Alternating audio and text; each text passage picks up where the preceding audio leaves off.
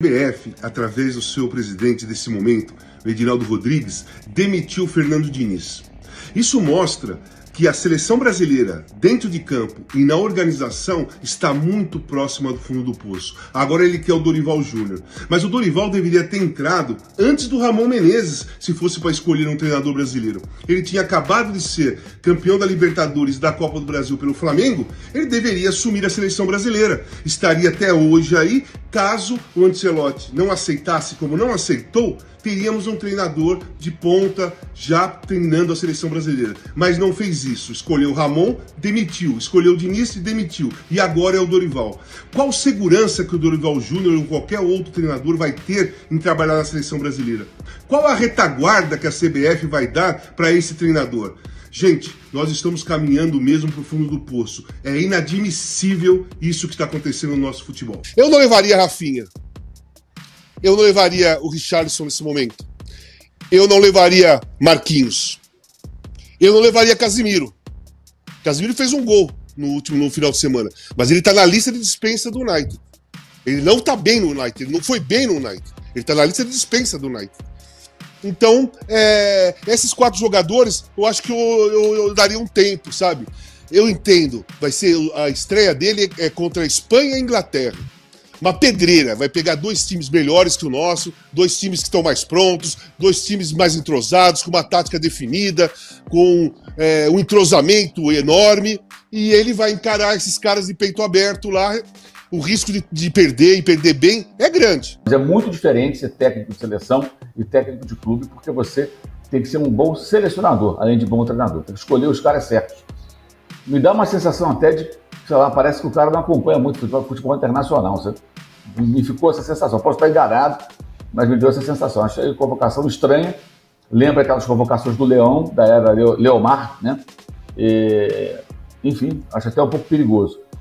Acho que tudo vai depender muito também de como as duas seleções europeias vão, vão encarar esses jogos. Tanto a Espanha quanto a Inglaterra. Né? Primeiro a Inglaterra, depois a Espanha. Porque esses amistosos muitas vezes são, são tratados de uma forma assim, os caras trocam todo mundo no intervalo, né? Não dão muita, muita, muita bola. Se jogarem mais sério, vai ser um teste mais interessante, tomara que seja. Mas eu não, inicialmente assim, não, não, não, não me pegou, não. Sabe? Achei uma convocação estranha, é, buscando muitos jogadores que atuam no Brasil. E, enfim, não estou não, não, não levando muita fé. Eu acho até que o Dorival não é um técnico desse nível. Acho que ele foi superestimado, que ele ganhou o título, mereceu. Mas, por exemplo, ano passado, a campanha do time que ele comandou, que foi o São Paulo, campeão da Copa do Brasil, mas no Brasileirão foi um desastre. São Paulo ficou lá embaixo o tempo todo. Com um elenco que era para fazer muito mais. Ganhou um jogo fora de casa. Tomou de 5 a 0 do Palmeiras. Peraí. Mas assim, há um recorte favorável. Ele, o cara que ele é bem aceito na mídia, é um cara gente boa, mas honestamente também não tem muita opção, né? Ô Tite, como você fez a gente passar vergonha, né? Como você fez a gente não ter a ideia do que era jogar na seleção brasileira. E vocês aí que falaram que é a pior seleção? A pior seleção que foi convocado um monte de cuzão aí que não sabe porra nenhuma de bola. Olha o Dorival Júnior, colocou todo mundo para jogar, colocou o menino Hendrick, bom de bola, vai ser muito melhor que o Ronaldo Fenômeno, meu irmão. Esse moleque é um craque de bola. Olha o João Gomes que jogou. Olha a visão dos meninos jogando com a camisa de seleção. Agora sim eu torço para a seleção. Parabéns à seleção brasileira. Agora tá gosto, Tite, de jogar, porque você foi o pior treinador da seleção. Acho que é muito importante. A gente fez é, cinco dias de trabalho, foi, foram muito importantes.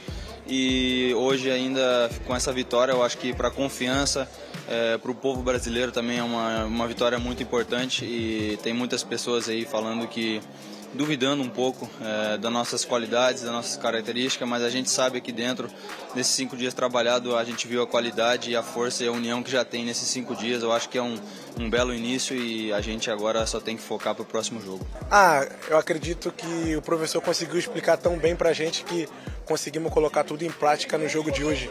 Claro que era um jogo muito importante para nós, mas a gente estava preparado, todo mundo confiante, muitos garotos jogando, que já tem muitas minutagens no seu clube e ganhando mais minutagem aqui na seleção. A gente tem, tem um objetivo muito claro que é, que é ganhar todos os jogos que vem pela frente, é ganhar a Copa América, que nos dá confiança para fazer um grande Mundial.